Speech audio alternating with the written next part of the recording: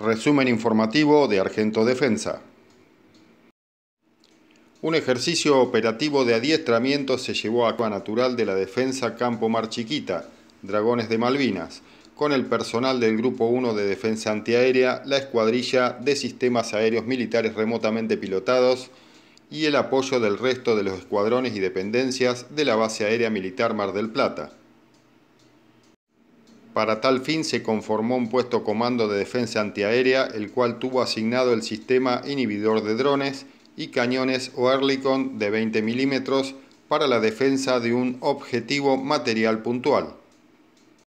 Asimismo, se estableció un polígono de campaña para la instrucción y tiro antiaéreo con ametralladora M2 y tiro práctico con fusil FAL 762, pistola 9 milímetros y pistola ametralladora Halcón.